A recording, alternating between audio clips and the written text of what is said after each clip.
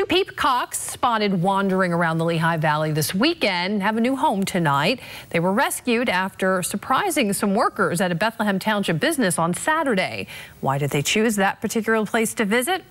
Because birds of a feather, of course, flock together. Here's Joy Howe. Straight Arrow Products in Northampton County is famous for their mane and tail products.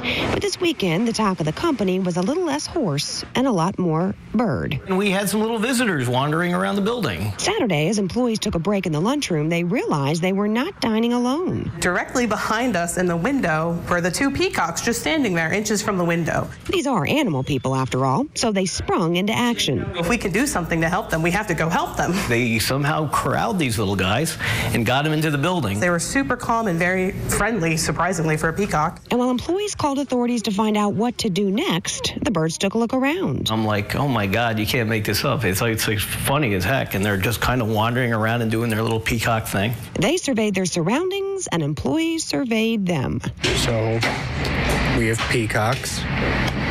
And they're making a mess but it's fine. Authorities say no owners could be verified. So, being an animal company, this group got in touch with animal friends. And they say the peacocks are now heading to a nice home with somebody who already owns peacocks. So, it's a happy ending.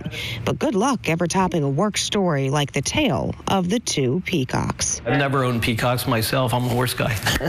Joy Howe, 69 News.